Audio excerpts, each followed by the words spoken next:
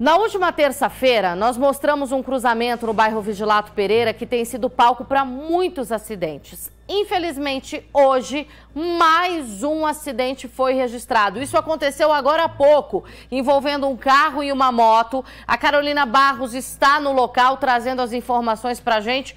Antes de tudo, Carol, nós já sabemos como esse motociclista está. Temos informações sobre o estado de saúde dele? Sim, Luciana, olha só, nós estamos aqui no exato local onde há pouco tempo aconteceu mais um acidente. Eu falo mais um porque nós já entramos com informações. Ontem mesmo nossa equipe esteve aqui gravando uma entrevista com várias pessoas que disseram que aqui é um local de muito acidente. Dá só uma olhada na movimentação aqui agora, imagem de Wenderson Cassiano, Rua Olegário Marcial com a Ercílio Furlaneto.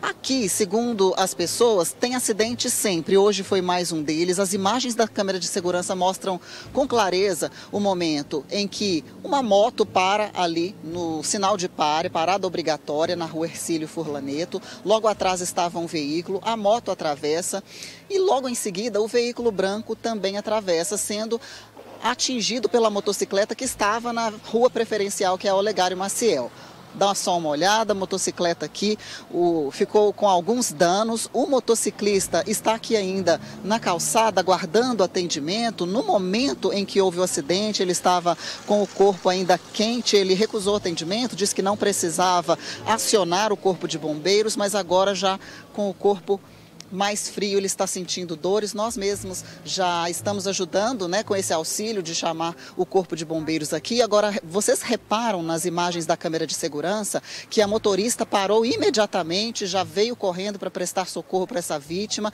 Inclusive, nós estamos aqui com a Lorena, que é uma pessoa que já deu entrevista para nós exatamente sobre esta situação. E Lorena, você estava me contando que aqui os acidentes são constantes, né? Sim, são constantes. Inclusive, na reportagem de ontem, a gente passou né, para vocês várias imagens dos acidentes que vêm acontecendo ao longo dos últimos meses. E assim, é, o que a gente pede é para a prefeitura até quando eles vão omitir prestar o serviço para resolver a situação. Porque assim, é, é, é, acidente atrás de acidente e aí vai esperar o quê? Uma morte, um acidente muito mais grave? Então é isso que a gente cobra, uma, uma resposta da prefeitura. Você mora aqui no Vigilato Pereira? Isso, moro. E já flagrou várias vezes, então, acidentes aqui nesse exato cruzamento? Sim, tem seis anos que eu moro aqui. E assim, é basicamente, no mínimo, dois acidentes por mês. Tem semana que é dois, três acidentes na mesma semana.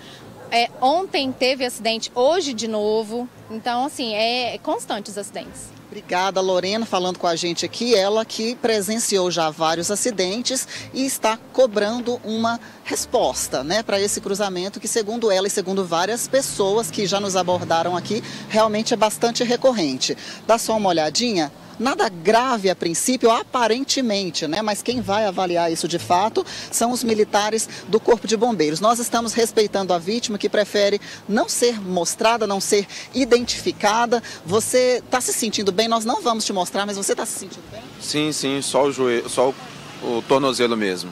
Você estava indo para onde? Para casa. E depois de um dia de trabalho? Isso, isso.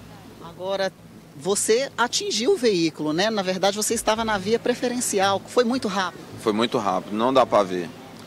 É muito confuso esse cruzamento aí. O carro já veio de uma vez, já apareceu em cima. Já tinha acontecido algo do tipo aqui? Você mora aqui perto? Não, não. Comigo não. Não, não, não. Mas agora então aguardando o socorro do Corpo de Bombeiros, mais uma vez respeitando a vítima que prefere não se identificar, não ser não mostrar a imagem dele, mas conversando com a gente então que apesar de ele estar bem, né, não ter nada aparentemente mais grave, agora ele está sentindo bastantes dores. A motorista também não quer falar, não quer se identificar, mas ela estava seguindo aqui pela rua Ercílio Furlaneto, ela parou também no semáforo, ali no sinal de pare, e ela, ao avançar, né, a gente percebe que aqui pela movimentação da rua Olegário Maciel, que é bastante intensa, ela pode não ter visto a motocicleta, a avenida, a rua Olegário Maciel é de uma movimentação constante, né? Agora nesse momento a gente já consegue até ver, olha só, o tanto de veículos passando, entrando aqui na Ercílio Furlaneto também, mas o detalhe, né? sempre acontecendo acidentes por aqui.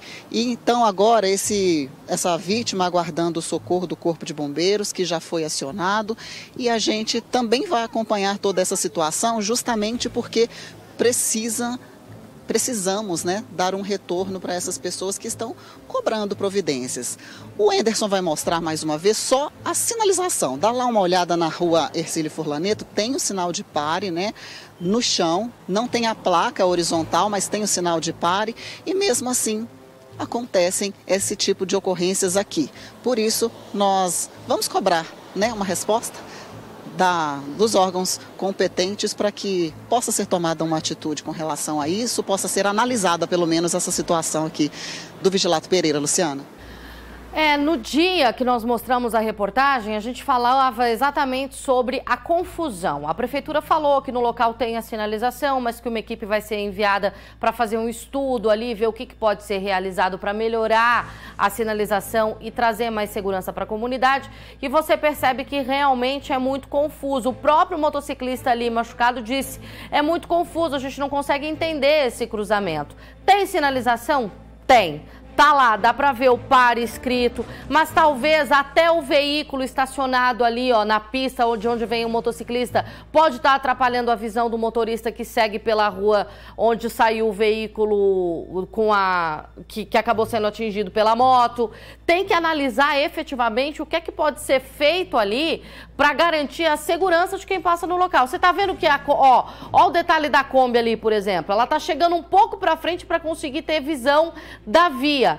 Às vezes é só uma questão de posicionamento das coisas que pode ali afetar a visão, o, o entendimento desse cruzamento e aí a gente consegue normalizar tudo. Vamos acompanhar o trabalho da prefeitura. A prefeitura foi super solícita, inclusive, com a demanda da comunidade, está fazendo o estudo, está fazendo o levantamento e a gente, claro, agradece aí a essa rápida resposta que a prefeitura municipal deu para a equipe do Cidade Alerta Minas. Vamos continuar acompanhando e na torcida para que nenhum acidente mais seja registrado. A esse rapaz aí uma boa recuperação, graças a Deus nada de mais grave. É, e a gente está aberto aqui também a solicitação de outros moradores das cidades da nossa região. Se tem cruzamento aí oferecendo risco para a comunidade, trazendo dor de cabeça, causando acidente, entre em contato com o Cidade Alerta Minas que nós vamos mostrar, mas mais do que isso, vamos cobrar resposta e vamos cobrar aí segurança para a comunidade.